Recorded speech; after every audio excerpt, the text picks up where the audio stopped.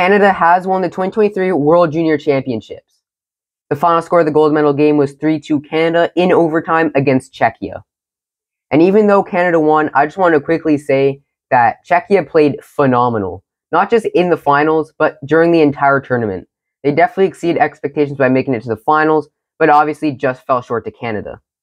The gold medal goal was scored by Dylan Guenther in overtime on an assist from Joshua Watt on a 2 on 1.